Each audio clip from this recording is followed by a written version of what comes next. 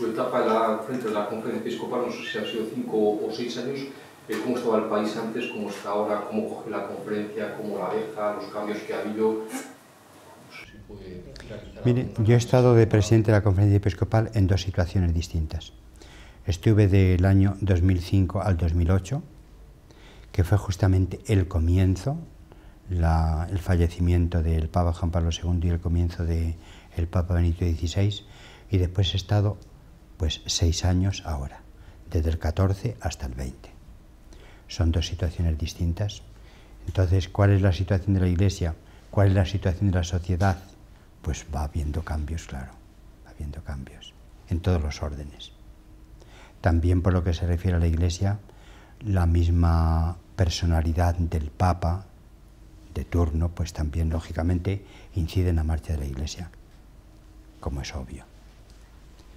Y nosotros queremos estar, bueno, pues en sintonía, que es parte de lo que llamamos la comunión eclesial, en sintonía con, con el Papa que preside en un momento determinado la Iglesia, que ahora se llama Francisco, y antes se llamaba Benedicto, y un poco antes se llamaba Juan Pablo II. Y un poco más comprometido con, eh, o al menos más públicamente, más comprometido con los pobres. Con los que más lo necesitan. Bueno, cada, cada papa cede al ministerio que se le confía, teniendo en cuenta su trayectoria, sus experiencias, su vida también previa ministerial.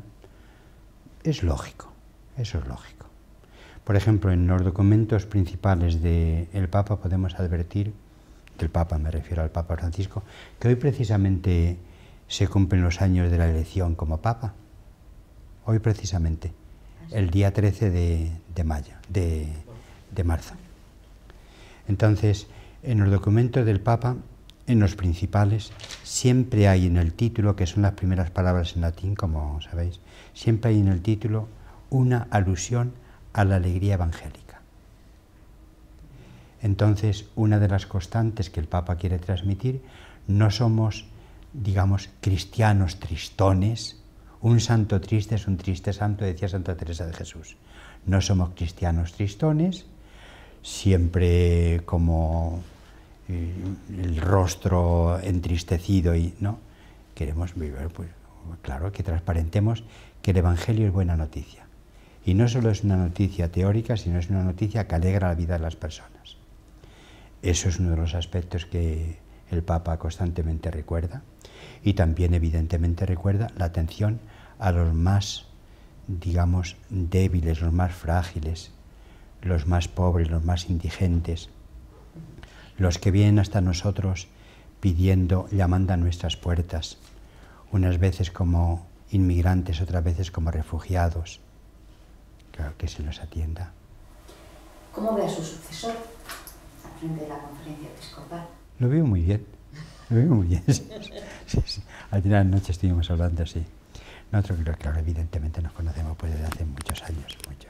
Sí es muy, es muy simpático, tiene la capacidad para desdramatizar las situaciones tensas de una manera genial, eso es, una, es un don estupendo.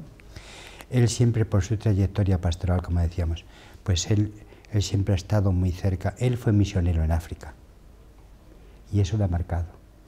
Y tuvo que venir también por motivos de salud. Él fue párroco bastante tiempo en una de, de las parroquias de, de Zaragoza de, pueblo de Zaragoza y también en Zaragoza, claro. Y en Zaragoza empezó como obispo auxiliar de don Elías. Es una persona, es muy capaz, como él repite muchas veces, es una persona para tender puentes, no para levantar muros. Es una persona que junto a él, digamos como que una especie de, de revival, de gozo se, se suscita en Cataluña, ya en Barcelona, yo creo que lo está haciendo muy bien, en una situación pues que no es sencilla, no es sencilla. Sí. ¿Usted es partidario de que exista la figura de, eh, como ya actuó él, de mediador entre la Iglesia, entre los independentistas y el gobierno central? Eso si lo, si lo, piden, si lo piden las dos partes. No es que uno se presente y se ofrezca, mira, aquí tenéis un mediador pero si en un momento determinado dos partes que tienen el litigio que sea y con el monto que sea. Y dice, pues mira, ¿por qué no le pedimos que nos ayude en esta tarea? Bueno, ¿por qué no? Evidentemente él no lo va a hacer como político, lo va a hacer como pastor, como obispo. ¿Y de su futuro? Aquí, al frente del arzobispado, va a seguir su futuro. Pues depende del Papa, depende del Papa, lo que el Papa crea oportuno. Pero supongo que tendrá algo Entonces, yo voy a cumplir ya, pues ya muy pronto. Además lo lleváis en cuenta perfectamente. Hoy hace, hoy hace años, hoy hace 10 años que se hizo público mi nombramiento para aquí, para... 10 años, sí. Mi nombramiento para aquí, para Valladolid. Y comencé el ministerio, pues la víspera de la beatificación del padre Bernardo de Hoyos, que fue el día 18 de la beatificación y el día 17 empecé yo aquí. Ya va a ser 10 años, porque se pasa rápido el tiempo. Entonces, yo llevo aquí 10 años, bendito sea Dios, he podido desarrollar este ministerio con vosotros, a mí me parece muy bien en Valladolid, muy bien, como antes estuve en Bilbao. Hoy además, se hoy ha muerto, concretamente por el periódico hoy, ha muerto el padre de Miguel Ángel Blanco. Sí. Usted pasó una etapa dura también. Yo presidí el funeral por Miguel Ángel Blanco. Y el párroco de Hermoa, que se, ya no está este párroco allí, se llama La Ruscain, pues el padre de Miguel Ángel Blanco entró en una fase muy depresiva después de la muerte de su hijo y la muerte tan violenta. Y el párroco le, le atendió muy de cerca. Yo pasé por su casa, claro, por la casa de Miguel Ángel. Fueron días terribles. Primero reclamando la liberación porque pusieron un término de 48 horas. primero una manifestación enorme en Bilbao pidiendo la, la liberación y en segundo lugar, después de producirse el atentado, pues rechazando, expresando la repulsa por ese acontecimiento tan cruel. Usted pasó de ser un tal Blázquez, cuando fue de Valencia a Bilbao, a ser criticado por algunos eh, partidos por acercarse excesivamente a... Eh, de hecho, pues también emitir un comunicado en que decían que era quizás eh, no demasiado duro con los movimientos independentistas. Yo actué en conciencia. Yo he tenido celebraciones con víctimas, con víctimas de la violencia terrorista. Por ejemplo, recuerdo en alguna celebración estuvo también el, el trabajador de prisiones. Sí, este, Ortega. Ortega Lara. Yo he tenido celebraciones y encuentros con las víctimas y he hecho lo mejor que yo he sabido y podido. Que a unos les gustan unas cosas más que otras ya se comprende. Eso ya se comprende. Porque fácilmente se proyecta también pues, las propias ideas en la forma de actuar de una persona en un sentido o en otro. Sí. Ciertamente los días de, de, en torno a Miguel Ángel, desde que fue apresado y fue asesinado y tuvimos el funeral, fueron días terribles. Yo tengo la convicción de que seguramente entonces allí ya venía dándose, pero fue un momento muy importante de cambio de actitud de tanta gente que venía un poco, bueno, pues no, no mostrándose de una manera rotunda en contra del terrorismo.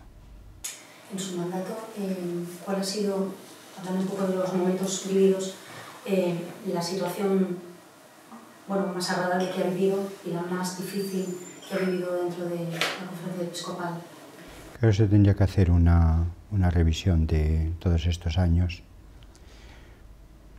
Para mí, por ejemplo, bueno, pues todos venimos participando ya desde hace bastantes años en que, digamos, el mapa político y la gobernación en nuestra sociedad tiene una fragilidad, una, en parte por el resultado del mapa político después de unas elecciones en que bueno, pues aparecieron con consistencia más partidos políticos.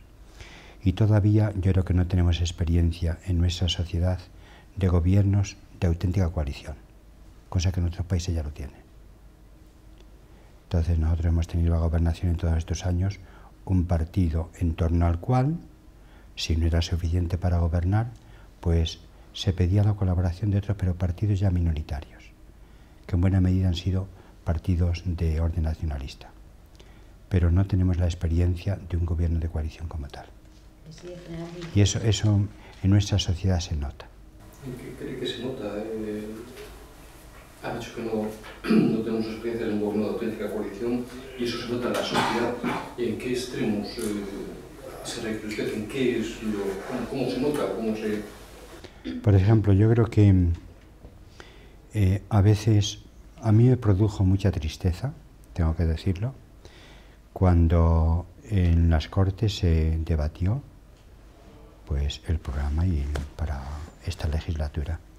A veces, en lugar de razones y de argumentos, aparecían más bien insultos y desacreditaciones.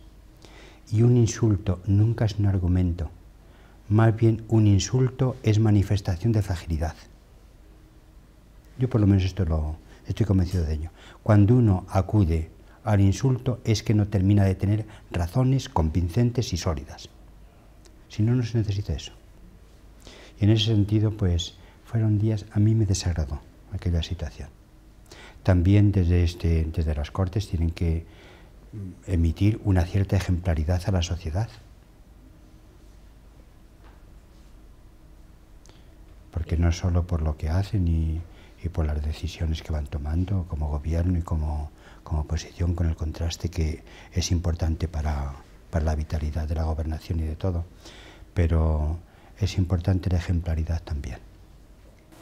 Se pide ejemplaridad también a la Iglesia eh, con respecto a, a, cómo se han tratado los eh, casos de abusos. A todos, a todos. Como usted sabe, el mapa de los abusos, y además nos ha discutido, digamos, en detalle este mapa, es un 80%. Esto Merkel lo dijo muy bien cuando aparecieron casos de, en colegios concretamente católicos. Un 80% aproximadamente de estos casos de abusos tienen lugar en el ámbito de las familias, un 17% aproximadamente en el ámbito de la educación y de los deportes y un 3% aproximadamente, ella hablaba Merkel, en las iglesias evangélica y católica. Y en nuestra sociedad parece que también es más o menos este, esta proporción entonces tenemos, es un problema de orden social. Y yo tengo la convicción de que la Iglesia sí que está poniendo bien pared, digamos, para, en primer lugar, para atender a las víctimas y también para prevenir que no haya abusos. Todo es una cuestión de todos, de las familias, de los educadores, de la Iglesia, de todos nosotros pero hay casos que se remontan a muchos años atrás en el tiempo y de los que eso ya está pasando. Lo mismo, no, lo de todos. Se remontan años atrás en las familias, en los educadores, en la iglesia y en todos. Que sepan todos los que quieran. Esta es mi situación, podemos decir, alguien que ha sido abusado, su familia, esta, puede comunicarlo, que lo comunique, que lo comunique y va a ser atendido y está siendo atendido. Ricardo, eh, eh, la conferencia episcopal como institución se ha sentido bien tratada por el, por el gobierno de Partido Socialista Unidas Podemos. ¿Cree que se puede hacer un mayor esfuerzo por parte del gobierno? Nosotros hasta ahora, yo, en la medida que yo conozco desde la presidenta de la conferencia episcopal, la relación con los gobiernos de turno ha sido correcta.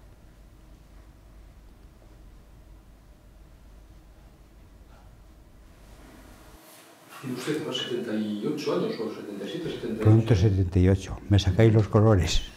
Pronto 78. Porque detrás está, o detrás no, perdón, a, su lado está el, el Padre Luis como, como obispo auxiliar.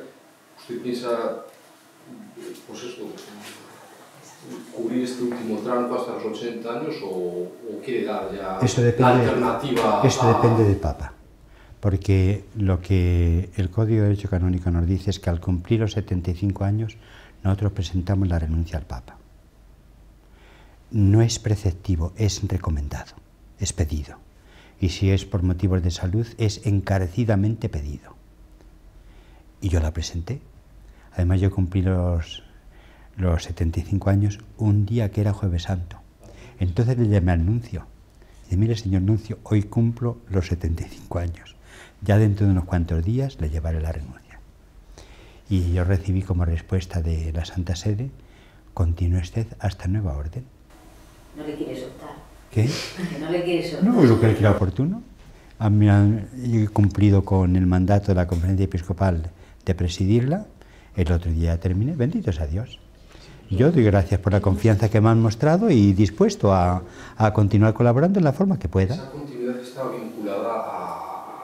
su permanencia en la conferencia episcopal. Ahora que ya no será ese caso, por eso le preguntaba si... No están vinculadas, no están vinculadas.